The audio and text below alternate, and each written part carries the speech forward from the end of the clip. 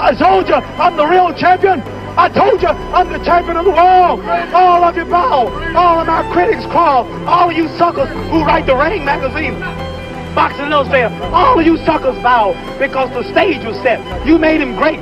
You made him a bad Joe Louis. You made him a hard puncher. But I want everybody from this moment on to recognize me as the scholar of boxing.